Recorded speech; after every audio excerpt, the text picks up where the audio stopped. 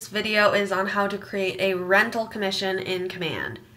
So you're going to start at the opportunities on the sidebar and click create opportunity.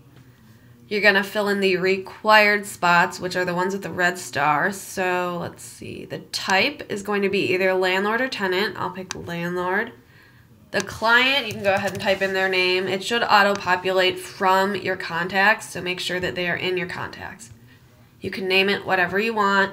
And then the lease price is going to be what one month's rent is.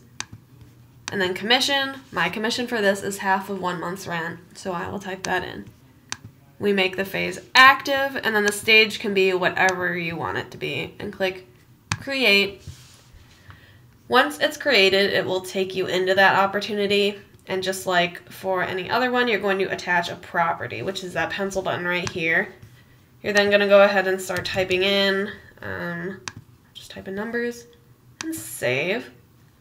Then we're going to go to the commissions button.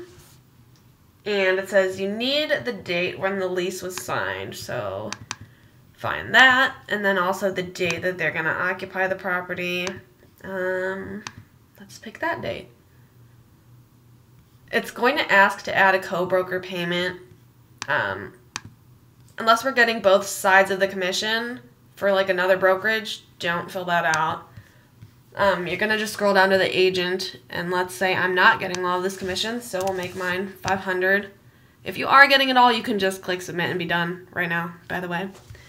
But if there is another agent on it, you can update yours to be half or whatever and then click add agent. And then find whoever else should be on here and add them. And we'll make their commission 500 as well. And then we can go ahead and submit. If you want to add a note, you can, for example, we should be receiving this check from the other brokerage in a week. Or something like that, if you want. If you don't know, you don't need to, but you can. Um, but once you're done, you can just click submit. It's going to ask if you want to donate to Keller Cares. Now, this is KW International Cares, not KW Cleveland Cares. Um, if you want to donate to KW Cleveland Cares, you can leave it in the notes. But so we're going to say yes and apply. Usually once you apply, it should submit it. So you'll see it right there. If it still says open, you can just press the submit button, which should appear right here. But once it's submitted, that means that I now have it on my end, and I will go look at your loop. And that is it.